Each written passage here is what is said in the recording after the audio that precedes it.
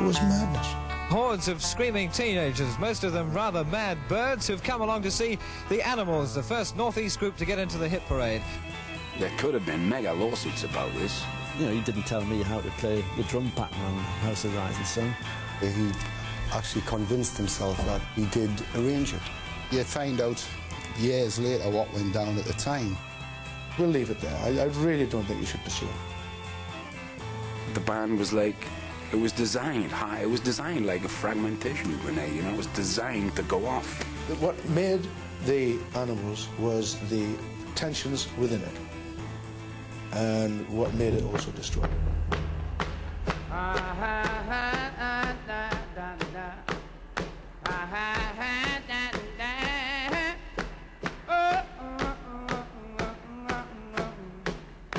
With the blues, it's kind of like a computer is today.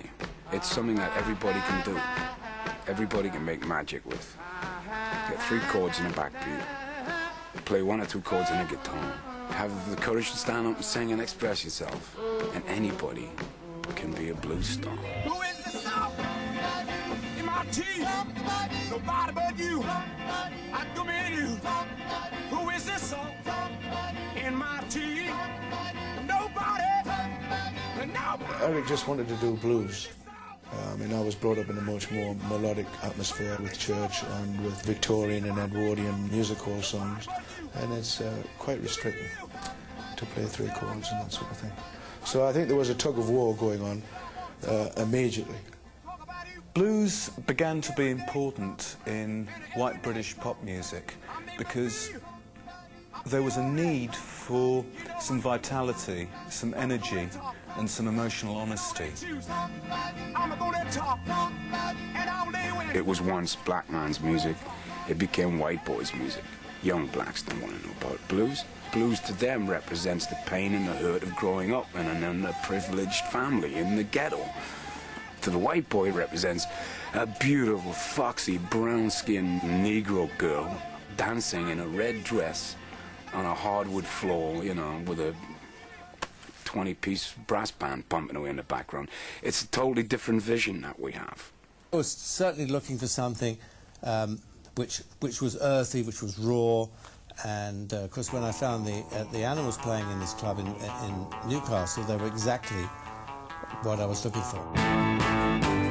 Baby, can I take you home? Baby, let me take you home.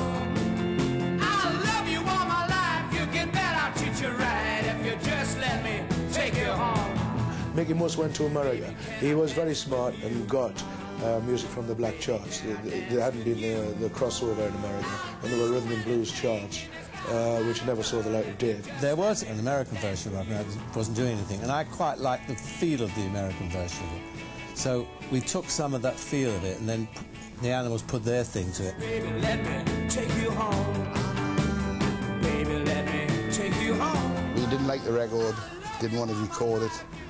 Uh, we very, I think we only played it on stage about six times. We hated the song. The, the combination was uh, was enough to get them a top 20 record, which was the first step on the ladder.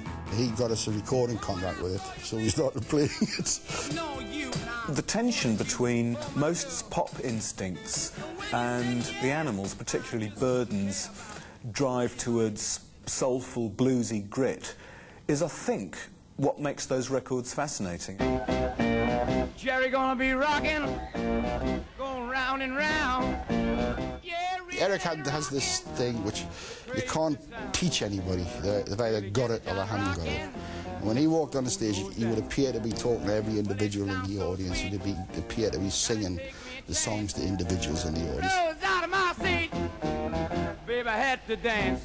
It's not an art because art can be developed. It's just a gift. Started clapping my hands. But it kept on rocking. Eric would have been better if he'd been allowed to actually sit in a rocking chair and sing. But to try and imitate these people dancing around, I mean, who would want to be like Mick Jagger, you know? well. Eric Burdon refused to acknowledge any distance between himself and the material. He was like a little battering ram trying to knock down any obstacle that stood between him and the emotion of the moment. There was none of that artful, self-mocking distance which characterised Jagger. I remember there was a review of Eric when he was trying to get a bit more effective on stage. They said it was like an apoplectic beetroot on a pogo stick.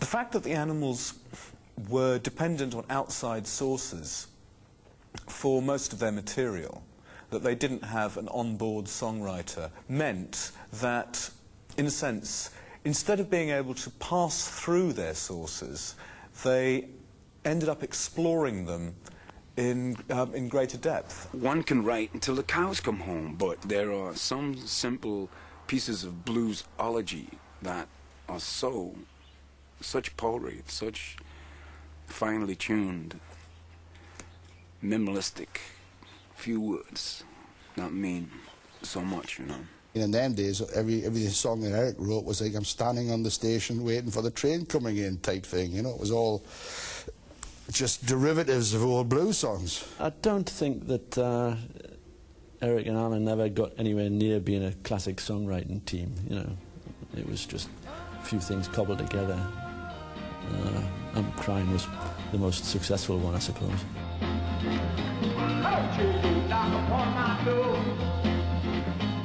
Don't have your loving anymore. Since you've been gone, I'm hurting inside. I you.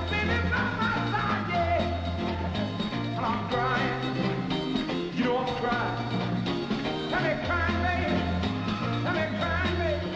love to be able to take a real super, you know, 1920 penned blues tune that nobody knows or has heard of, or very few people have heard of,